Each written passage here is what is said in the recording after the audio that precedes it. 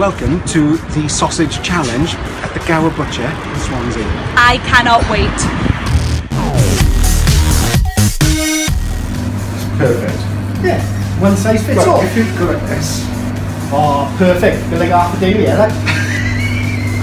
Here we are at the Gower Butchers. We have the legendary Alan for the Gower Butcher. He is the Gower Butcher. He's the man who's going to give us the instructions of what we're going to do today. What are we doing? Today, Badger, we're going to make the wave sausage. The wave The sausage. wave Christmas sausage. The wave Christmas So you've got to get both fans in here. Yeah. And just like I'm going to mix it all around. Right. Badger's job, obviously. Get in there, Badge. We do that. Hey, get in there, that's useless! Would you like to put it back through them inside? No. It's mushy and cold, but it smells amazing. It smells amazing. Why are you doing that, Badge? Get all the air out of it. Don't you know anything about making sausages?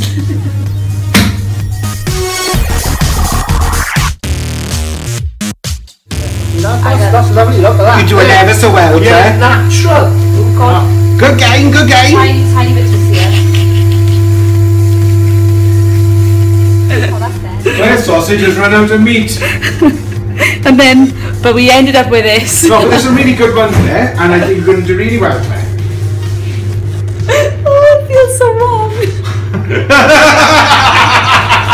There's one more. Watch my phone.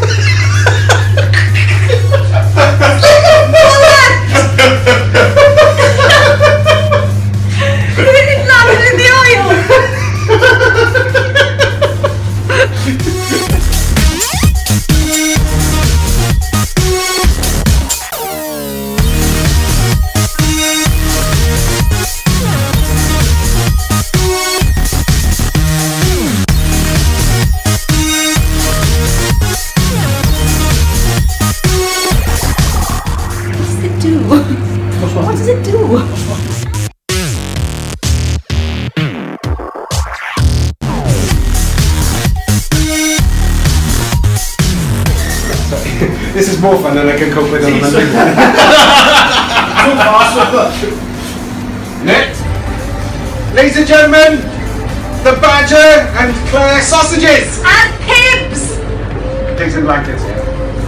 Sausage would you like? Would you like Claire's sausage or Badger sausage? Wait, wait, wait, wait, you gotta listen. Claire's Christmas sausage with cranberries and spices or Badger's Traditional pork. sausage.